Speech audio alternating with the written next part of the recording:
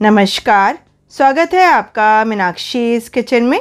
आज मैं शेयर कर रही हूँ दो तरीके की कचालू की रेसिपी एक हम बनाएँगे कचालू की सब्ज़ी और एक हम बनाएँगे कचालू की चाट। तो मैंने यहाँ पर इस तरीके से ले लिया है ये कचालू, ये बड़े साइज़ का है और ये देखिए छोटे साइज़ का, इसको अरबी भी बोलते हैं। अरबी बोले या फिर कचालू भी इसे आप बोल सकते हैं। दोनों को ही मैंने अच्छे से धो लिया है। अब मैं इसे बॉईल कर लूँगी। तो मैं इसे कुकर में डाल दूँगी बॉईल करने के लिए। इसको बॉईल करने से पहले इसको अच्छे से आप धो लें, क्योंकि इसके ऊपर काफ़ी मिट्टी होती है, धोने से वो हट जाएगी। अब इसे हम कुकर में डाल देंगे बॉईल करने के लिए। पानी आपको इतना लेना है जैसे सारे ये अच्छे से ये डिप हो जाएँ पानी में। अब इसे हम ढक्का लगाकर एक से दो विसल आने तक बॉईल कर लेंगे, जब तक कि अच्छे से ये सॉफ्ट ना हो जाए। तो ये देखिए, ये अरबी यानी कचालू मैंने बॉईल कर लिए हैं। बॉईल करने के बाद मैंने इसको ठंडा कर लिया। अब मैं इसे छील लूँगी इस तरीके से।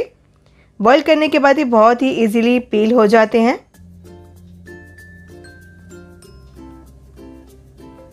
तो सारे ही इस तरीके से मैंने छील लिए हैं। छीलने के बाद इसको हम दोनों हाथों में ले लेंगे इस तरीके से और इसको दबाकर इस तरीके से टिक्की की तरह बना लेंगे। सारे ही मैं इस तरीके से इसको प्रेस कर लूँगी। तो ये देखिए, सारे कचालू मैंने दबाकर तैयार कर लिए हैं। अब इसे हमें शैलो फ्राई करना है। तो पैन में मैंने डाल दिया है थोड़ा सा ऑयल मीडियम हीट पे इसे हम फ्राई कर लेंगे ताकि अंदर से भी अच्छे से ये पक जाए. इसे अच्छे से हमें क्रिस्प होने तक फ्राई कर लेना है. चाहे तो इसे आप फ्राई भी कर सकते हैं, जैसे कि मैं इसे शैलो फ्राई कर रही हूँ. आप चाहे तो इसे डीप फ्राई भी कर सकते हैं. जब आपको लगे ये एक तरफ़ से हल्का सा फ्राई हो गया है, तभी इसे आप पलटें. जैसे कि ये देखिए हल्का सा ये फ्राई हो गया. जब तक ये फ्राई हो रहे हैं, तब तक मैं इसके लिए बना लेती हूँ एक मसाला. ज़्यादा मसाले इसमें डलते नहीं हैं, फिर भी खाने में ये बहुत ही टेस्टी बनती है। ट्राई ज़रूर करें। मैंने बोल में डाल दिया है टेस्ट के अकॉर्डिंग नमक। आधा चम्मच ले लेंगे हल्दी पाउडर मैंने यहाँ पर 250 ग्राम अरबी ली है। इसके हिसाब से ही मसाले मैं इसमें डाल रही हूँ। आधा चम्मच लाल मिर्च पाउडर एक चम्मच ऐड करेंगे धनिया पाउडर आधा चम्मच ऐड करेंगे अमचूर पाउडर और इन सबको अच्छे से हम मिक्स कर लेंगे। बिल्कुल सिंपल ही मसाले मैंने इसमें डाले हैं। इसको अच्छे से मिक्स कर लेंगे और ये मसाला हमारा तैयार हो गया। इस मसाले को बनाकर हम साइड में रख देंगे। अब मैं अरबी को चेक कर रही हूँ तो ये देखिए अरबी भी हमारी फ्राई हो गई है अच्छे से और क्रिस्प भी हो गई है। जब सारी अरबी इस तरीके से दोनों तरफ़ से अच्छे से क्रिस्प हो जाए, उसके बाद इसमें ऐड कर देंगे मसाला जो हमने बनाकर रखा हुआ है। मसाले को इस तरीके से इसके ऊपर हम स्प्रिंकल कर देंगे। अब मैंने गैस को बिल्कुल लो हीट पे कर दिया है। मसाला डालने के बाद इसको हल्के हाथ से हम मिक्स कर लेंगे। ताकि ये टूट ना जाए।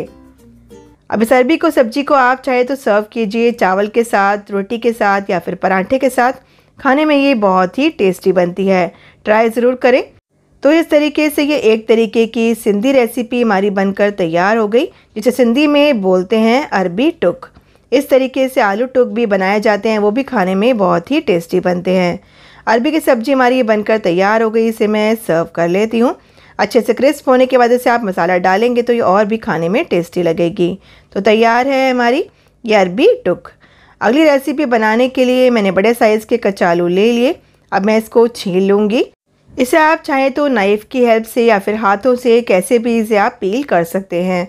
ये भी इजीली छिल जाते हैं। तो मैं इसे हाथों से ही पील कर रही हूँ। तो कचालू को मैंने छील लिया। अब इसे हम छोटे पीसेस में कट कर लेंगे। कचालू की चाट भी बनती है, कचालू को इस तरीके से दही भल्ले के ऊपर भी डाला जाता है तो दही भल्ले का टेस्ट भी और बढ़ जाता है। इस तरीके से मैं इसको पतले पीसेस में कट कर रही हूँ। कचालू को कट करने के बाद इसमें ऐड कर देंगे टेस्ट के अकॉर्डिंग नमक। थोड़ा सा ऐड करेंगे इसमें हम काला नमक। जैसे कि इसके हम चाट बना रहे हैं तो काले नमक का बहुत ही अच्छा से इसमें टेस्ट आ जाएगा। थोड़ा सा ऐड कर दिया मैंने इसमें भुना जीरा पाउडर आधा चम्मच लाल मिर्च पाउडर अब इसमें ऐड कर देंगे दो बड़े चम्मच इमली का पल्प कचालू को खाने से कई बार गले में खुजली हो जाती है तो खटास इसमें ऐड करना बहुत ही ज़रूरी है। अब इसमें ऐड कर देंगे धनिया। मैंने धनिया को बारीक बारीक कट करके इसमें ऐड कर दिया।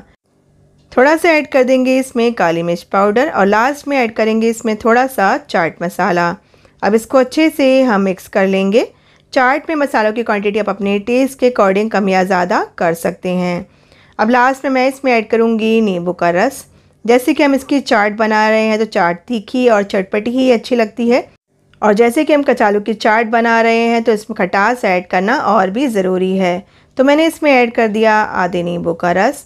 फिर से इसको अच्छे से हम मिक्स कर लेंगे। ये कचालू की चाट खाने में बहुत ही टेस्टी बनती है। अगर आपको कचालू से कोई एलर्जी नहीं है तो इसे आप ट्राई ज़रूर करें। बिना ऑयल के इस चाट को हमने बनाया है और खाने में बहुत ही बढ़िया और बहुत ही टेस्टी लगती है। चाहे इसे आप कम क्वांटिटी में भी बनाकर खा सकते हैं। चाहे इसको आप बिल्कुल सिंपल मसालों के साथ भी बना सकते हैं, जैसे कि काला नमक, काली मिर्च और नींबू का रस। इस तरीके से कचालू की चाट हमारी बनकर तैयार हो गई। रेसिपी पसंद आई हो तो प्लीज़ लाइक शेयर और सब्सक्राइब ज़रूर करें। तो चलिए मिलते हैं अगली वीडियो में। तब तक के लिए बाय